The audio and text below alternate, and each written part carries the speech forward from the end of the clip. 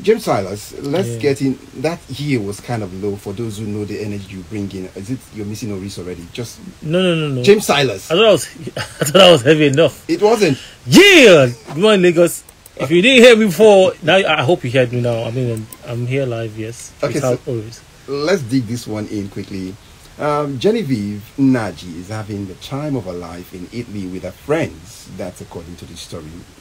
And she's been spotted having fun, international with um, an international Nigerian model, Oluchi Onweagba Orlandi, Mm. posting pictures. That's why I see it's good to have friends who are, eh, you know, vacationing in better places and drag you along. I mean, it's even in addition to that, beyond um, just um, going on vacation and stuff. You know, the last one of the few or past stories we heard about um, Genevieve was about her, you know, having like a should I say emotional or mental breakdown. Like it seemed like she went into isolation, you know, to take care of her mental health or take care of herself, and then not much had been heard until, you know, one other time I and there was news that she was going to be on a new project. Um, I don't know if it's a Netflix project, but I mean, we were just worried. A lot of fans were just worried because we and she was just out of circulation. She wasn't even in the country and still probably not in the country. And then the next time we now saw was this Oluchi, her hanging out with Oluchi, and it seemed like a very happy situation. I mean, that was like a lot of fans really liked that. I mean, I mean, a lot. We just needed updates. Like, is she okay? Is she doing well? And this is actually proof. It seemed like there's this withdrawal syndrome she's having right now. The only thing, even before these pictures of this that looks happy, because most times you may someone may look happy, happy, but may not be happy Yeah. because of the, just the history of some of the stories we've seen before now. But the thing is, now she posts pictures and just leave cryptic messages and all of those. So, uh, are we sure we can take this to the bank and say, truly, our Genevieve Nnaji is coming out to the sun and ready to play once again? I mean, not everybody really wants to put their business out on social media like that, you know. And um, she doesn't really owe us much in terms of um, giving us updates on how she's doing and stuff. But we, at least, people knew that she even put it out there that she was going to take care of herself, you know. But um, like I said, sometimes you want to show yourself a lot more to your real friends than you know social media and stuff. But I, I feel like I believe that she's doing well. She's fine. You know, because I could add one and two together. The last time I heard of Genevieve was from the interview granted by Yul's dad, Yeah, Pete Edochie. Pete Edochie, where in passing he mentioned they was talking about some of these Nollywood um, actresses who have come to pass as daughters to him, and he Mhm. said Genevieve is one of them, but. She seemed like um, she has not been communicating with him That's what I'm saying. So that's Because- where that's what I could get for someone of his status to Yeah. mention that. I took that Sarah and he said, "Okay, I just hope she's well." hmm That's what I'm saying. You see that she went into isolation. She went in to take care of herself at the time, you know, and which I feel like um, is actually necessary. Sometimes the provision can be too loud that it gets deafening, you know. So you just want to take a break off that spotlight. So, um, but I think she's. I mean, I feel like I believe that we're going to see more of her in no time. You know, it's what it is. Let's move on now to our own Two Baba at this point in time. Two Baba, uh, Two Face Idibia, well, does not want anyone to steal his wife Annie Macaulay Idibia from him. So Baba is definitely guiding the African queen jealously. I mean, I should be Close marking. Like, uh, you know, sometimes I, even as much as um, 2Baba, I believe that it was just maybe just hyping or you know, uh, more or less um, putting the wife on the spotlight. It's something that comes off and on like that, and uh, I think that they have a beautiful, beautiful relationship, and which has also faced a lot of um, criticism from you know different angles, both the mainstream Yeah. media, social media, and, and so on. So once in a while, when you see your wife, in the, you just wake up and say, "Okay, where are you going to? Why are you looking so pretty? Why?" You know. so I think it's um, it's it, it can be fun to watch and see sometimes. I like the way you put that. She looks so beautiful, and you're like, "Why are you so beautiful? Where are you going?" uh, well, come and take a hug before you go, or You probably know. you can. But then, I just want to put this out there.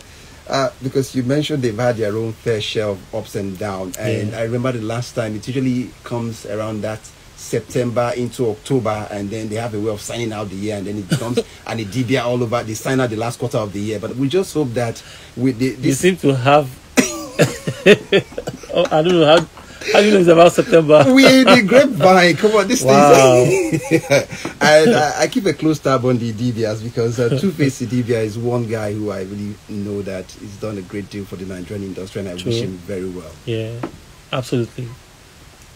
And let's get on to this next one. Uh, well, still keeping it in Nigeria here, and that has to do with uh, Omo Baba Olowo. That's uh, David Adeleke, OBO. Well, feels like after putting the hard work in, it feels like if you work hard, you should also play hard, eat hard, spend hard also. Uh, what could he be spending his money on this time around after the Timeless album? Yeah, so it's a, it's a necklace. I mean, I, David is like you said, somebody who works really hard and balls really, really, really hard. As in, David knows how to spend his money, you know. And um, you know, interestingly, um, I mean, from people who are closer or who you know to the family, um, David is also even as much as you see the whole of the flashy things here and there. David, David is very, very disciplined, even with um, money. He makes a lot of money. Do you understand? And um, he also has a family and a father who sort of guides even his financial um, um, attitude or the financial. I w- I don't want to call it excesses, but you see, when Davido buys or sp- splurges a million dollars or a million naira on something, just be assured that he has actually saved um, like nine million somewhere else. You know, so the dad is very, uh, the family is very vested in how it's not like they are controlling finances, but he has people around guiding and also um, showing him, or yeah, pretty much guiding him on how he spends or you know manages his finances. I think he's very he, David is David is good. If you see him spend anything, like I said, he has put aside or the you know he has another investment going on on the other side. I would still like to keep a tab on the video. It's interesting you say he's prudent in a way. I mean, I look at it spending that amount on a necklace. Doesn't come. I know it's not my money. I didn't work for it for with it along with him. It's, but it's money. But I'm just saying, doesn't look. It doesn't come across as prudent or wise to me. Yeah, it's that, that's I mean that's for you, but don't forget that then in industry it's showbiz. That's how um, so, sometimes he won't tell you that oh he had to um, let go of one of that jewelry that he's had for five years or, or do you understand? Yes. And he had to let go of that one or trade that one in to get this new one. Those information don't usually come out like that, but I want to believe that um, he's not throwing all his. I mean, he's he's not a kid. He has a family to take care of, you know, for himself as well. Apart from the people that he's also responsible to. So I believe that, like I said, if David is spending a million on something right now, there's a stash of more that has been kept and invested in other um, businesses. No, so I don't think that. At this rate, you're buying yourself for something worth about 350 carats. Mhm. That's studded with diamonds. That's what we're told now. Why won't I, after this show, at the end of my shift, Mm, intend to probably trek down to for Davido? mm. At least somebody at least is riding. Why would people even begin to ride bicycles or do something to get to him from Benway or wherever in the part of the world? I mean, that's part of what it comes with the territory. People, some people want attention. Some people don't forget. I want some guys um, back in the day. Did he walk or run or something for the past president of Yes. Nigeria? Do you understand? I mean, I don't even know if he, if anybody noticed, if the president noticed him at the end of the day. But this, that's something David has been known for. David, if you do something that sort of gets attention, he wants to reward. He wants to dash you something. Do you understand? So it's been his move since day one. You know, so um, I believe that he knows what he's doing. If and then don't forget that the media um, has a way of making things look um should I say should I, should I say shinier or just sort of have a way of um because I don't know I don't think David has come out to tell us how much he spent on that thing. I don't think he really does that a lot but I mean somebody somewhere somehow somewhere they know how to just throw it out there and then people capitalize and tell us the prices and stuff. But like I said, sometimes you don't know what he had to let go of to replace with the new one that we are seeing now. Well I think he's a smart guy, and he's making enough money to be able to splurge that much. It seems you, you doubt the investigative power of Nigerians on Twitter. I'll give you an let me give you an example of what happened in the course of the week. Yeah. So there was this uh, former BBNaija housemate Yeah. who brought her business to Twitter and posted her. she was the picture showed her sitting, and then there was the arm of a guy and said, "This guy has been making me happy." Yeah. The guy, the guy's hand has um, he had tattoo. Uh, it was less than let's just say in 24 hours, Nigerians went on Twitter, went around. With that with that tattoo, they were able to trace and say, "This is the DJ you are dating currently." I mean, yes, we get it. I mean, it's what it is. The truth is that for any picture or any part of the body that you see on, his, on Instagram, he was cut off from a full picture. Oh. So yes, definitely people will find out. People will, you know, Yes. dig out wherever that full or that information is. But I mean, Davido's situation, I just maintain that, um, like I said, I know, like from you know, from the behind the scenes, we, I know that he has a grounded family setting. Who know that there's a family wealth that must be kept, you know, I must be there I must continue Generation. growing. Yes, generation. Do you understand? So, but he's even making a lot of money. That's the truth. He's making a lot of money from concerts, from the record, from the catalog of hits that he has. He's making so much money in, in dollars for that matter. So, I mean, somebody who has, who has one million dollars, if you decide to say, okay, I want to put three hundred, three hundred thousand dollars on jewelry, it is his money. It's- He can do whatever he wants with it. Yeah, I know. But then he's uh, that's why it's unavailable presently. But let's get into this message from Daniel Olotu. Daniel Olotu comes in with a message reacting to Davido's splurging on um, the jewelry. Apart from the luxury cars that depreciate, Davido spends money on real diamonds and gold, etc. Is actually an investment, confirming what you, you mentioned about Yeah. him now, that it's more like a deliberate investment. You know, some people um, convert their money to gold and just keep it somewhere, and that's it. Um, I don't think Davido spends as much as Burna Boy. I don't think he spends as much as Burna Boy. But why, why don't we get to see more of Yes, because Burna Boy Boy's- has a tight circle. You don't really who who will tell you about Burna Boy? Yeah, That guy has has done a great deal to keep that tight circle tight. Yeah, Burna. Boy has. I mean, most of the, the people that is closer or that are around him are actually more of close family.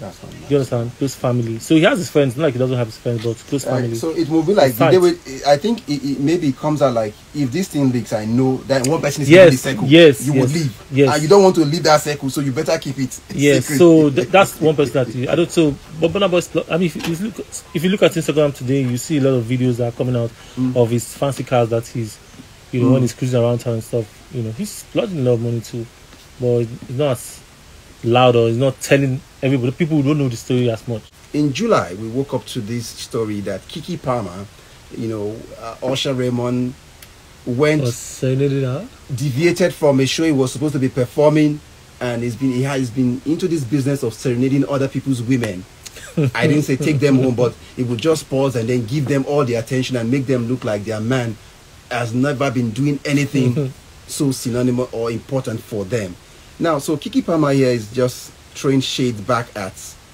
the the partner now who Yeah, because as a result of that Jackson. video that came out now Mm. so take us through that story Yeah, yeah. I mean, so it was. I think yeah, July. I believe um, Usher's concert, and then Keke went there with her friends and stuff.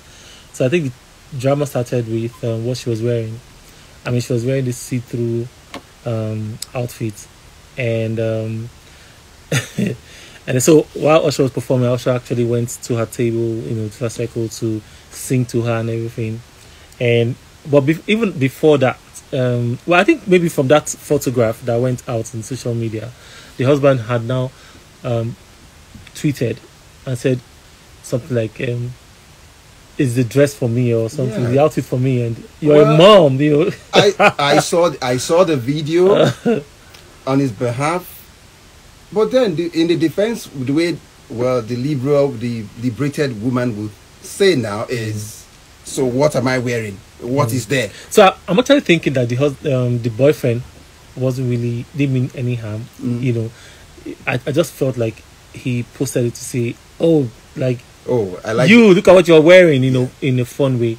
Even though people on in, on Twitter, you know, Twitter is not a place where you can just don't play around. You have, you are saying A, make sure you say A, Say A. make it clear that you're saying A, but You know, if you leave anything cryptic, people are going to um, turn it out on you. So, but I, I believe that he was not really criticizing in terms of like, why are you looking like this?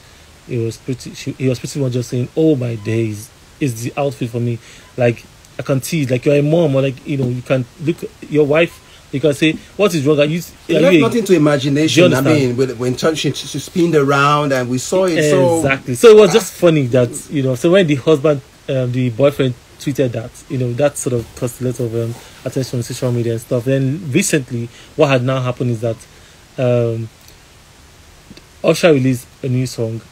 Um, it was I think seventeenth yesterday or the day August, yeah, when, that's August on Wednesday. on Wednesday. Yeah, yeah, yesterday, and um, the video girl or more or less the Victim. cameo was Yeah, um, Keke. Keke was um, miming the song. In fact, Keke actually opened the song dressed like Usher, and it kept going back. There's, it was a really. I mean, people need to go to check it out. It's um, out there. What's the title of the song again, please? Can you help me with that? uh, boyfriend. Boyfriend.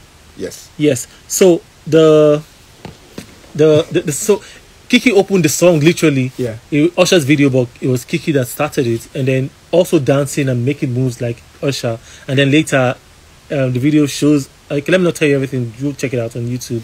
And but finally, at the tail end of it, um, Keke was sleeping, and then got a call, and it was it, it didn't show who was at first, and then maybe something she was supposed to be somewhere else, you know. And then she goes, "Oh, like I was, I came late or I was late. I Yeah. couldn't make the event or the outing. Outing.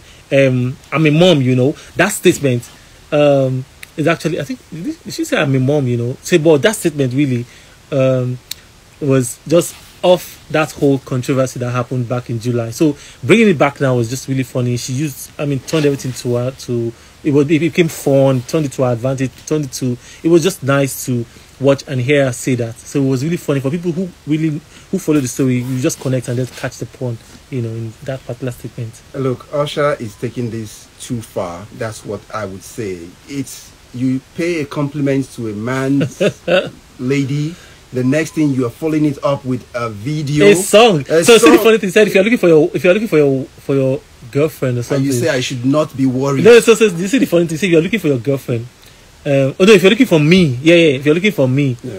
um, that you find maybe like find me where your girlfriend is, something like that. Like if Oh, you're looking for me, Yeah. find me where your girlfriend. I think that's yeah, or find me where your boyfriend. So, just something like that, you know. But it's just funny. I think it's all fun. They all know what they're doing. So you see why 2Baba came out protecting his, you see why 2Baba is protecting his territory, marking it very well. You will not say you mistake you didn't see the territory, marking it properly. And can we say shout out to Usher? Usher is 44, and if you've seen that video, Usher looked like, you know, from how many years ago. So shout out to him. Darius Jackson didn't do his job properly, and someone is going to take his woman home. I Nah, that's not possible. Not gonna happen. Okay. Uh, Mercy Johnson to sue firm over alleged breach of intellectual property. Mercy Johnson doesn't just come into the news. Like, she's not, Mm. not that type of person, but when she does, you know it must be serious. Mm. So she was a brand ambassador for a makeup line, and um, the contract or the deal ended last year October. Yes. But the said brand is still using her image and you know whatever they've shot before to um, for their campaign or promotion, and she's out here to say um, they need to stop that she's not a brand ambassador and they need to stop using her image or likeness for their promotions. Um, so what in this situation, I think uh, what needs to happen is they need to go back to the contract that was signed earlier. Sometimes you have to look at it. Did you miss out anything? Was there any part where that says even if you have finished after your contract that they have the right to use Use continue using the image or whatever? But I think um, she has her lawyers on the on the situation, and I think they'll come to um, maybe a balance or to a meeting point at the end of the day. But if they don't have any rights, then um, and they continue after this warning, then they might have to you know take the case to court. And let's hope they find a, a meeting point so that they Yeah. don't end up in court and then. Yeah, I mean the least you can do, or the I mean simplest thing you can do is either um, renew the contract, continue Yeah. the contract or whatever, but not to continue if the initial contract did not state States. that. Yes. That brings us to our final story this morning, James Silas. Yeah. And this one stand up comedy is tougher than skit making. You see, this guy who made this comment has come up as different character that it would first be Sinzu, it would be spending. this guy, so I can that's just to put, give you a hint of the skit making I'm talking about for him. Uh, that's talking about Lasisi Elenu stating it. It's not easy. Yes, I mean, so see, the, see the, I mean, I can totally relate to what he has said here. Um, so interestingly, when I always believe that when you're in the entertainment industry, you can you can change or do anything. So I've an opportunity, or I've had situations where I've you know been involved in making creating skits or making you know being a part of a skit, and they're supposed to be funny. But truth is, if I stand in front of a crowd to tell jokes, they'll throw and stone me out of that. So it's not it, it's not particularly easy. Yeah. Um, you see, you can um, act something, you know, when you don't have people watching, and you can act something that can, when you watch it, people it turn out to be funny, but then you now come on stage to tell a joke. It's not, it's not even so. It, it's way different, and some people can do these funny skits, but cannot tell, um, stand up to, you know, do stand up comedy. Mm. It's a different ballgame entirely. So, but and I, I've seen situations where some people have assumed because you do skits and people think that you're a funny guy in your skits, and then they came on stage to try to be funny and it wasn't even funny. Like, yo, what are you doing? You know. so, but um, Yeah. yes, it's what it is. I believe I agree and totally understand and relate to what he's saying, and that's coming from somebody who um, a lot of us consider as funny.